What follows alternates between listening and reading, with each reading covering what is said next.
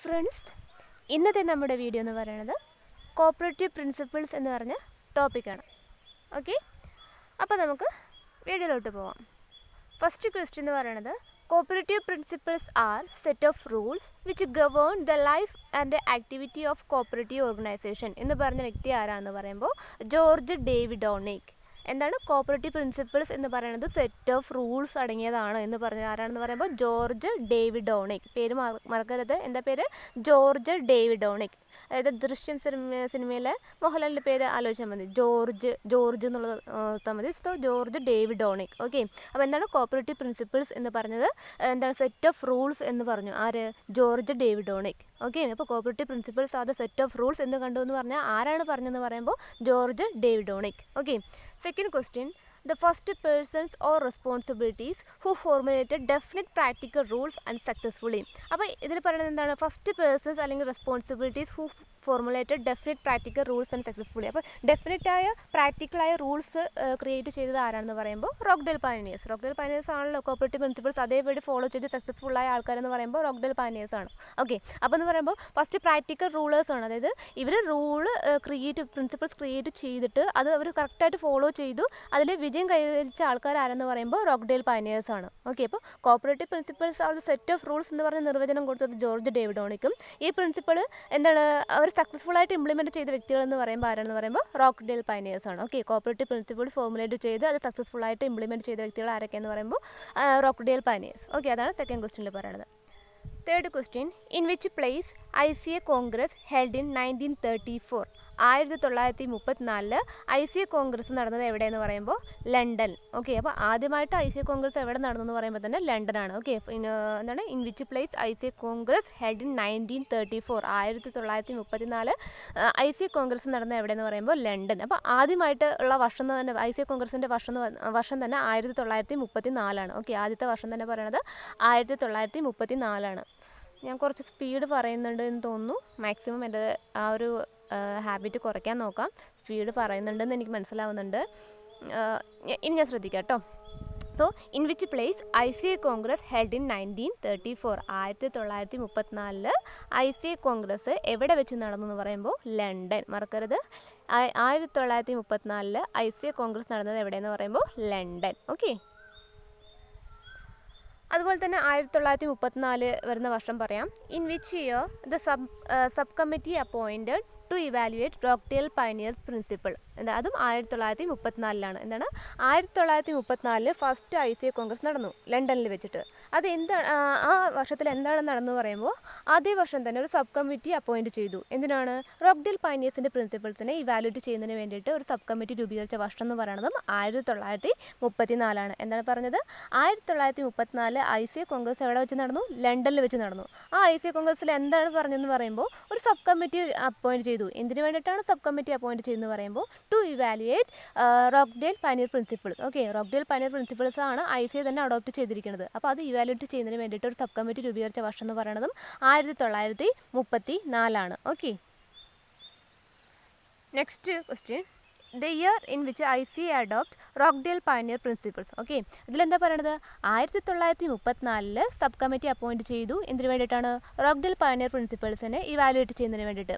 അതിനുശേഷം ഇവാലുവേറ്റ് ചെയ്തപ്പോൾ അതിന് അവർക്ക് മനസ്സിലായി ഇത് കറക്റ്റാണ് നമുക്കത് അഡോപ്റ്റ് ചെയ്യാമെന്ന് വിചാരിച്ചു. അത് ഏത് വർഷം എന്ന് പറയുമ്പോൾ ആയിരത്തി തൊള്ളായിരത്തി മുപ്പത്തി ഏഴാണ് the year in which I C adopt Rochdale pioneer principle അപ്പോൾ ഏത് വർഷത്തിലാണ് I C A Rochdale pioneer principles adopt ചെയ്തതെന്ന് പറയുമ്പോൾ ആയിരത്തി തൊള്ളായിരത്തി മുപ്പത്തി ഏഴ് ഓക്കെ ആയിരത്തി തൊള്ളായിരത്തി മുപ്പത്തിനാലിൽ സബ് കമ്മിറ്റി അപ്പോയിന്റ് ചെയ്തു. ഐ സി എ കോൺഗ്രസ് ലണ്ടനിൽ വെച്ച് നടന്നു ആയിരത്തി തൊള്ളായിരത്തി മുപ്പത്തിനാല് അവിടെ വെച്ചിട്ട് അവർ തീരുമാനിച്ചു ഇത് അഡോപ്റ്റ് ചെയ്യാമെന്ന് ഓക്കെ അപ്പോൾ അത് ആയിരത്തി തൊള്ളായിരത്തി മുപ്പത്തി ഏഴിൽ തന്നെ എന്ത് വന്നു ഏ I C A principle sorry Rochdale pioneer പ്രിൻസിപ്പിളെ I C adopt ചെയ്തു. Okay Rochdale pioneer sorry Rochdale pioneer principles I I C adopt ചെയ്ത വർഷം എന്ന് പറയുമ്പോൾ ആയിരത്തി തൊള്ളായിരത്തി മുപ്പത്തി ഏഴാണ് okay the place in which I C A congress held in nineteen thirty seven ആയിരത്തി തൊള്ളായിരത്തി മുപ്പത്തി ഏഴിലെ ഐ സി എ കോൺഗ്രസ് എവിടെ നടന്നു പറയുമ്പോൾ പാരീസിൽ വെച്ചിട്ടാണ്. ഓക്കെ പാരീസിൽ വെച്ചിട്ടാണ്. ആണ് ആയിരത്തി തൊള്ളായിരത്തി മുപ്പത്തേഴിലെ ഐ സി ഐ കോൺഗ്രസ് നടന്നത് എവിടെയാണെന്ന് പറയുമ്പോൾ പാരീസിലാണ്. ആയിരത്തി തൊള്ളായിരത്തി മുപ്പത്തി നാലിലെ ഐ സി ഐ കോൺഗ്രസ് എവിടെ വെച്ച് നടന്നു പറയുമ്പോൾ ലണ്ടനിലും.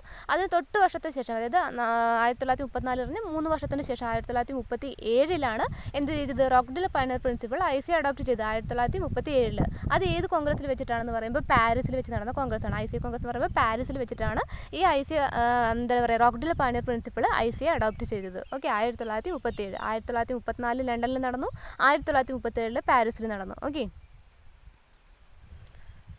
next the year in which twenty second international cooperative congress held ഇരുപത്തിരണ്ടാമത് international cooperative congress. ഇരുപത്തിരണ്ടാമത് ഐ സി എ കോൺഗ്രസ് നടന്ന ഏത് വർഷം എന്ന് പറയുമ്പോൾ ആയിരത്തി തൊള്ളായിരത്തി അറുപത്തി മൂന്നാണ് ഇരുപത്തിരണ്ടാമത് ഐ സി എ കോൺഗ്രസ് എവിടെ ഏത് വർഷത്താണ് നടന്നു പറയുമ്പോൾ ആയിരത്തി തൊള്ളായിരത്തി അറുപത്തി മൂന്ന് ഇരുപത്തിരണ്ട് രണ്ട് കഴിഞ്ഞ് മൂന്ന്. അറുപത്തി സോറി ആയിരത്തി തൊള്ളായിരത്തി അറുപത്തി മൂന്ന് പറയാം. ഓക്കെ ഇരുപത്തിരണ്ടാമത് ഐ സി എ കോൺഗ്രസ് ഏത് വർഷത്തിലാണ് നടന്നു പറയുമ്പോൾ ആയിരത്തി തൊള്ളായിരത്തി അറുപത്തി മൂന്ന് അപ്പം നമ്മൾ മുമ്പ് പഠിച്ച വർഷങ്ങൾ ഏതൊക്കെയാണ്? ആയിരത്തി തൊള്ളായിരത്തി മുപ്പത്തിനാലിൽ പഠിച്ചു I C A congress held ചെയ്ത് ആയിരത്തി തൊള്ളായിരത്തി മുപ്പത്തിനാലിലാണ്.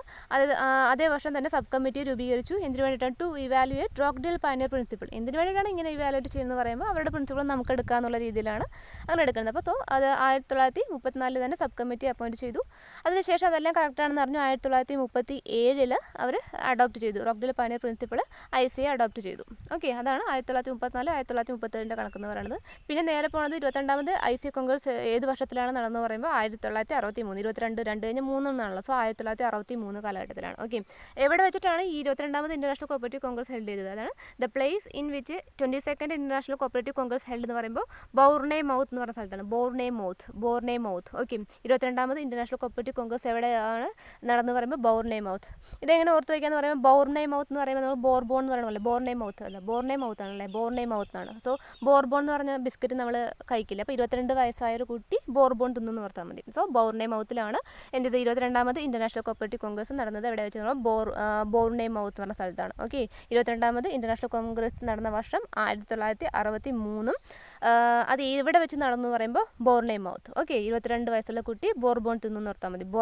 Bournemouth okay next question the year in which ഇരുപത്തി മൂന്ന് twenty third international cooperative congress held എന്ന് പറയുമ്പോൾ ആയിരത്തി തൊള്ളായിരത്തി അറുപത്തി ആറ് ഓക്കെ ഇരുപത്തി മൂന്നാമത് ഐ സി കോൺഗ്രസ് നടന്നത് ഏത് വർഷം എന്ന് പറയുമ്പോൾ ആയിരത്തി തൊള്ളായിരത്തി അറുപത്തി ആറ് എന്താ ഇവിടെ പറയണത്? ഇരുപത്തിരണ്ടാമത് ഇന്റർനാഷണൽ കോൺഗ്രസ് നടന്നത് ആയിരത്തി തൊള്ളായിരത്തി അറുപത്തി മൂന്നിലും ഇരുപത്തി മൂന്നാമത് ഇന്റർനാഷണൽ കോപ്പറേറ്റീവ് കോൺഗ്രസ് നടന്ന ഇവിടെ ഏത് വർഷം എന്ന് പറയുമ്പോൾ ആയിരത്തി തൊള്ളായിരത്തി അറുപത്തി ആറും ഇരുപത്തി മൂന്ന് മൂന്ന് മൂന്ന് ആറ്. ആയിരത്തി തൊള്ളായിരത്തി അറുപത്തി ആറ് എന്ന് ഓർത്താൽ മതി. ആയിരത്തി തൊള്ളായിരത്തി അറുപത്തി ആറിലാണ് ഇരുപത്തി മൂന്നാമത് ഇന്റർനാഷണൽ കോപ്പറേറ്റീവ് കോൺഗ്രസ് നടന്നത്.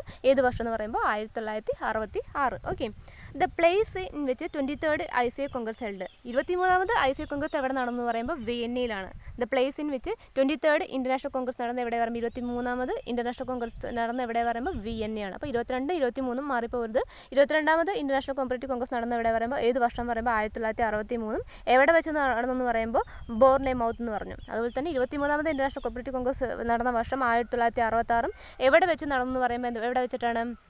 വിയന്നയിൽ വെച്ചിട്ടാണ്. ഓക്കെ ഇരുപത്തിമൂന്നാമത് ഇന്റർനാഷണൽ കോപ്പറേറ്റീവ് കോൺഗ്രസ് നടന്ന ഇവിടെ വെച്ചെന്ന് പറയുമ്പോൾ വിയന്നയിലാണ് ഇരുപത്തിമൂന്നാമത് ഇന്റർനാഷണൽ കോപ്പറേറ്റീവ് കോൺഗ്രസ് എന്ന് പറയുമ്പോൾ ആയിരത്തി തൊള്ളായിരത്തി അറുപത്തി ആറിൽ നടന്ന കോപ്പറേറ്റീവ് കോൺഗ്രസ് എവിടെ വെച്ച് നടന്നു എന്ന് പറയുമ്പോൾ വിയന്ന മറന്നു പോകരുത്. ഇരുപത്തിമൂന്നാമത് ഐ സി ഐ കോൺഗ്രസും നടന്നത് എവിടെ വെച്ചെന്ന് പറയുമ്പോൾ വിയന്ന വിയന്ന ഇരുപത്തിരണ്ട് എന്ന് പറയുമ്പോൾ ബോർ ആ, ബോർണെ മൗത്താണ്.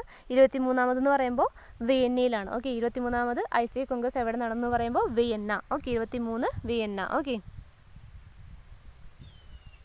There are dash principles adopted by ICA in 1966.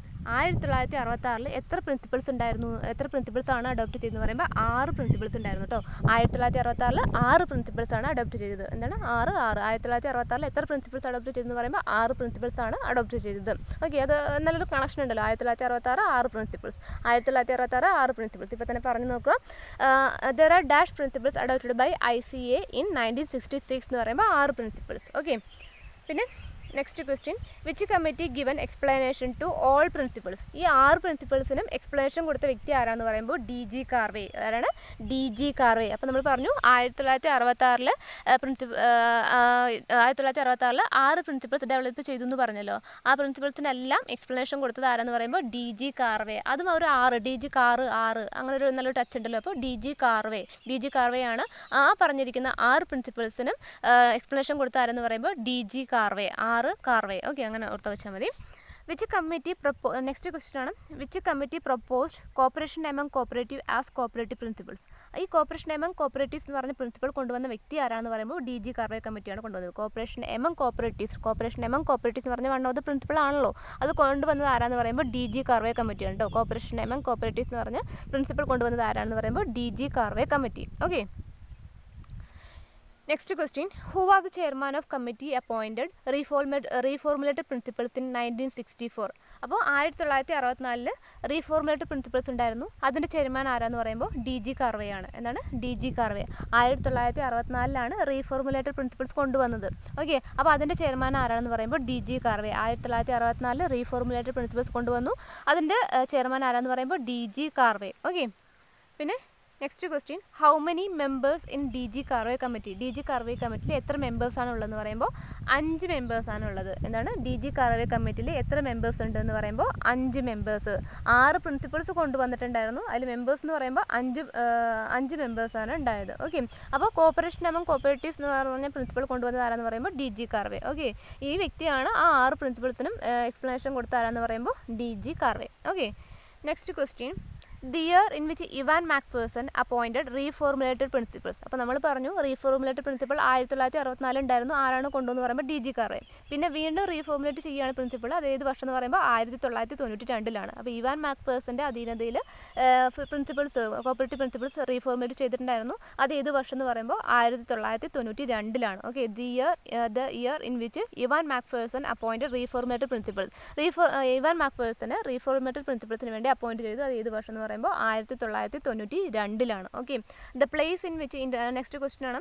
The place in which international cooperative congress held in nineteen ninety two ആയിരത്തി തൊള്ളായിരത്തി തൊണ്ണൂറ്റി രണ്ടിലെ കോപ്പറേറ്റീവ് കോൺഗ്രസ് എവിടെ വെച്ച് നടന്നു എന്ന് പറയുമ്പോൾ ടോക്കിയോയിലാണ്. എന്താണ്? ടോക്കിയോ. ആയിരത്തി തൊള്ളായിരത്തി തൊണ്ണൂറ്റി രണ്ടിലെ ഐ സി കോൺഗ്രസ് എവിടെ വെച്ചാണ് നടന്നതെന്ന് പറയുമ്പോൾ ടോക്കിയോ. ആയിരത്തി തൊള്ളായിരത്തി തൊണ്ണൂറ്റി രണ്ട് എന്ന് പറയുമ്പോൾ ടോക്കിയോ. Okay Tokyo. ടു അല്ലേ? ആയിരത്തി തൊള്ളായിരത്തി തൊണ്ണൂറ്റി രണ്ട് to to Tokyo. To Tokyo. Okay അങ്ങനെ ഓർത്ത് വെച്ചാൽ മതി. ടോക്കിയോയിലാണ്. ആയിരത്തി തൊള്ളായിരത്തി തൊണ്ണൂറ്റി രണ്ടിൽ ഇവാൻ മാക്ഫേഴ്സിനെ അപ്പോയിന്റ് ചെയ്തു ചെയർമാനായിട്ട് എന്തിനു വേണ്ടിയിട്ടാണെന്ന് പറയുമ്പോൾ റീഫോർമ റീഫോർമുലേറ്റഡ് പ്രിൻസിപ്പിൾസിന് വേണ്ടിയിട്ടാണ്. ആ ആയിരത്തി തൊള്ളായിരത്തി തൊണ്ണൂറ്റി രണ്ടിലെ പ്രിൻസിപ്പിൾസ് എവിടെ വെച്ചാണ് സോറി കോപ്പറേറ്റീവ് പ്രിൻസിപ്പിൾസ് അല്ല ഈ ഐ സി കോൺഗ്രസ് എവിടെ വെച്ചാണ് നടന്നതെന്ന് പറയുമ്പോൾ ടോക്കിയോ. ഓക്കെ? പിന്നെ നെക്സ്റ്റ് ക്വസ്റ്റ്യൻ എന്ന് പറയുമ്പോൾ അപ്പോൾ ആയിരത്തി തൊള്ളായിരത്തി തൊണ്ണൂറ്റി രണ്ടിൽ ഇവാൻ മാക്ഫേഴ്സിനെ അപ്പോയിന്റ് ചെയ്തു. എന്തിനു വേണ്ടിയിട്ടാണെന്ന് പറയുമ്പോൾ റീഫോർമുലേറ്റഡ് പ്രിൻസിപ്പിൾസിന് വേണ്ടിയിട്ട്. അപ്പോൾ എന്ത് ചെയ്തു? അപ്പോൾ അങ്ങനെ അപ്പോയിന്റ് ചെയ്ത് അദ്ദേഹം എന്ത് ചെയ്തു? റിപ്പോർട്ട് സബ്മിറ്റ് ചെയ്ത വർഷം എന്ന് പറയുമ്പോൾ രണ്ട് വർഷത്തിന് ശേഷമാണ് ആയിരത്തി തൊള്ളായിരത്തി തൊണ്ണൂറ്റി നാലിലാണ് എന്താണ്? The year in which Ivan MacPherson report was submitted എന്ന് പറയുമ്പോൾ ആയിരത്തി തൊള്ളായിരത്തി തൊണ്ണൂറ്റി നാല് ആയിരത്തി തൊള്ളായിരത്തി തൊണ്ണൂറ്റി രണ്ടിൽ ഇവാൻ മാക്ഫേഴ്സൺ അപ്പോയിന്റ് ചെയ്തു. ആയിരത്തി തൊള്ളായിരത്തി തൊണ്ണൂറ്റി നാലിൽ അദ്ദേഹം റിപ്പോർട്ട് സബ്മിറ്റ് ചെയ്തു. അത്ര ഓർത്ത് വെച്ചാൽ മതി. Ivan MacPherson belongs to which country Ivan മാക്ഫേഴ്സന്റെ കൺട്രിയുടെ പേരെന്തെന്ന് പറയുമ്പോൾ കാനഡ അദ്ദേഹം ഏത് കൺട്രിയിൽ നിന്ന ആളാണെന്ന് പറയുമ്പോൾ കാനഡയിലത്തെ ആളാണ് കേട്ടോ Ivan MacPherson belongs to which country എന്ന് പറയുമ്പോൾ കാനഡ എന്താണ്? Ivan MacPherson belongs to which country എന്ന് പറയുമ്പോൾ കാനഡ പിന്നെ അദ്ദേഹം കൊണ്ടുവന്ന പ്രിൻസിപ്പളിന്റെ പേരാണ് കൺസേൺ ഫോർ കമ്മ്യൂണിറ്റി എന്താണ്? Concern for community principles was committee എന്നല്ല കേട്ടോ കമ്മ്യൂണിറ്റി എന്നാണ് concern for community principles for principles proposed by concern for community എന്ന് പറഞ്ഞ പ്രിൻസിപ്പിൾസ് കൊണ്ടുവന്ന വ്യക്തി ആരാണെന്ന് പറയുമ്പോൾ ഇവാൻ മാക്ഫേഴ്സൺ. ഓക്കെ അപ്പോൾ നമ്മളിതിന് മുമ്പ് പറഞ്ഞു കോപ്പറേഷൻ എമംഗ് കോപ്പറേറ്റീവ്സ് എന്ന് പറഞ്ഞ പ്രിൻസിപ്പിൾ കൊണ്ടുവന്നത് ഡി ജി കാർവേയും കൺസേൺ ഫോർ കമ്മ്യൂണിറ്റി എന്ന് പറഞ്ഞ പ്രിൻസിപ്പിൾ കൊണ്ടുവന്നത് ആരാന്ന് പറയുമ്പോൾ ഇവാൻ മാക്ഫേഴ്സനുമാണ് ഓക്കെ ഇവാൻ മാക്ഫേഴ്സനെ അപ്പോയിന്റ് ചെയ്ത വർഷം എന്ന് പറയുമ്പോൾ ആയിരത്തി തൊള്ളായിരത്തി തൊണ്ണൂറ്റി രണ്ട് ആയിരത്തി തൊള്ളായിരത്തി തൊണ്ണൂറ്റി നാലിൽ റിപ്പോർട്ട് സബ്മിറ്റ് ചെയ്തു. ആയിരത്തി തൊള്ളായിരത്തി തൊണ്ണൂറ്റി രണ്ടിൽ അപ്പോയിന്റ് ചെയ്യുമ്പോൾ ഐ സി കോൺഗ്രസ് എവിടെ വെച്ച് നടന്നു എന്ന് പറയുമ്പോൾ Tokyo. Okay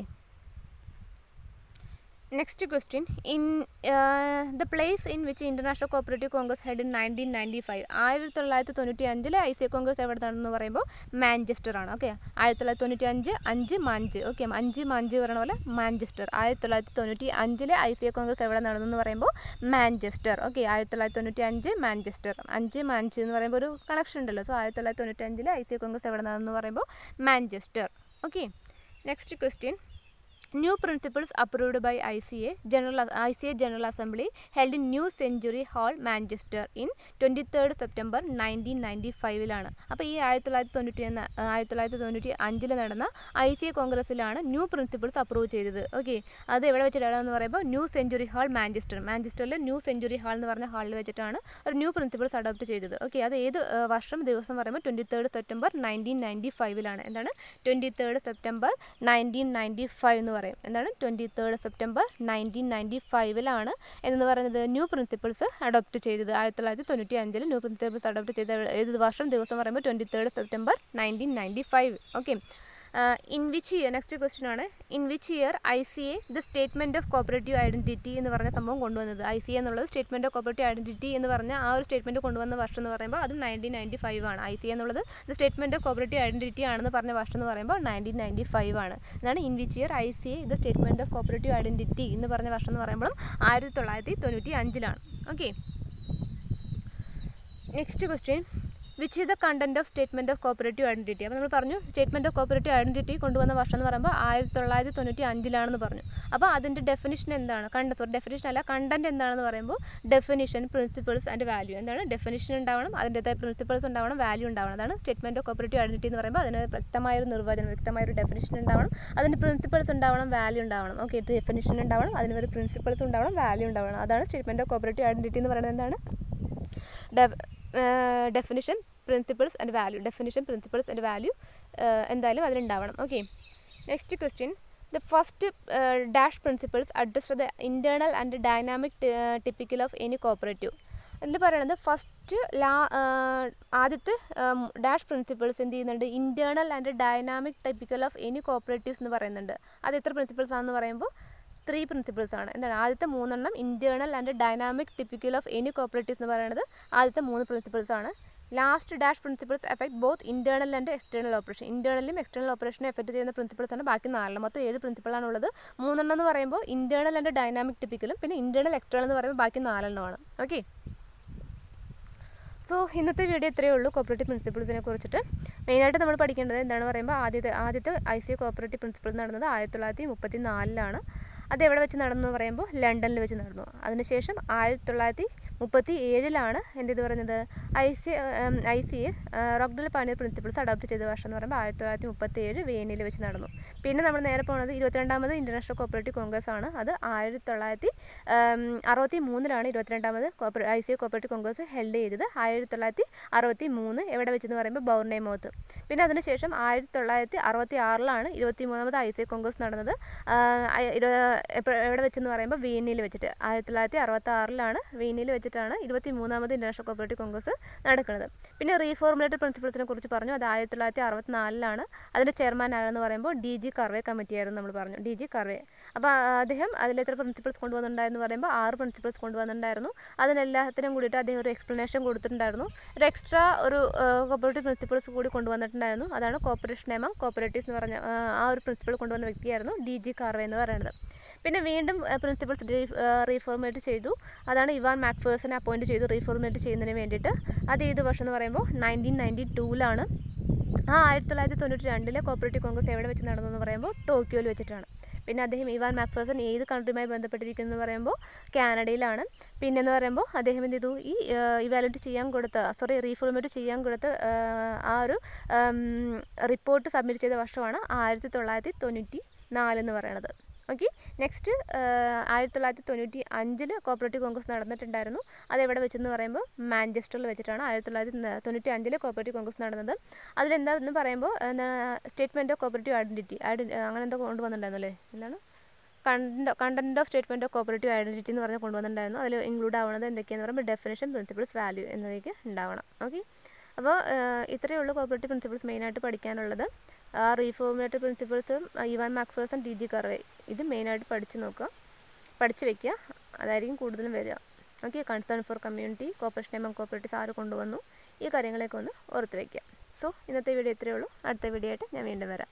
ഓക്കെ സോ ഞാൻ ക്ലാസ് എടുക്കുന്നത് എന്ന് പറയുമ്പോൾ എനിക്ക് തോന്നുന്നത് അറിയാണ്ട് ഇങ്ങനെ സ്പീഡായി പോകുന്നതാണ്. സോ മാക്സിമം ഞാൻ എന്റെ ക്ലാസ് വൃത്തിയെടുക്കാൻ ഞാൻ ശ്രമിക്കുന്നതായിരിക്കും. എന്തെങ്കിലും തെറ്റുണ്ടെങ്കിൽ ക്ഷമിക്കുക. എല്ലാവർക്കും മനസ്സിലായെന്ന് കരുതുന്നു. സോ ബൈ ബൈ അടുത്ത വീഡിയോ ആയിട്ട് ഞാൻ വീണ്ടും വരാം. ഓക്കെ